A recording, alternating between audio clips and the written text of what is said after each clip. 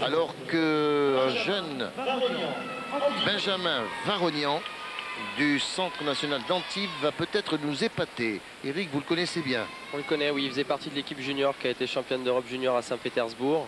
Il a vraiment un exercice très très acrobatique en barre fixe et vous allez voir. Ah ben on attend. Je sais qu'il aime beaucoup prendre de risques lui aussi. Il va faire ce qu'on appelle le Kovacs, le salto au-dessus d'une tapa. Ah, ça c'est formidable.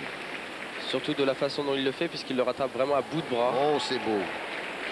Double Kovacs enchaîné. Avec beaucoup de propreté. C'est un des grands favoris pour cette finale.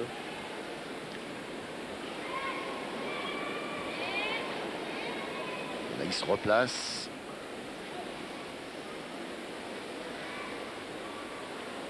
Après l'engagé de dislocation, le grand tour dorsal. On se rapproche tout doucement de la sortie. Et ce dernier changement de face y arrive. Ici, accélération, le fouetté et le double arrière tendu avec double brille. Excellent, excellent pour euh, la future équipe de France euh, des Jeux de Sydney.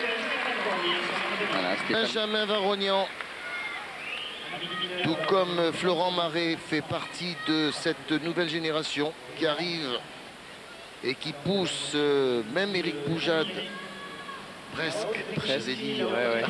Bon, de, toute façon, je commence tout doucement à vieillir, donc euh, il me reste euh, encore deux petites années jusqu'aux Jeux Olympiques. Et après, euh, Ah mais vous serez capitaine d'équipe avec euh, Karbanenko, mais vous avez besoin de ces jeunes hein, derrière. hein. bien sûr, on a besoin de ces jeunes pour euh, même, euh, je dirais, euh, nous dépasser sur les agrès où on a des points faibles, puisqu'ils ont vraiment des très grosses qualités sur l'ensemble des agrès.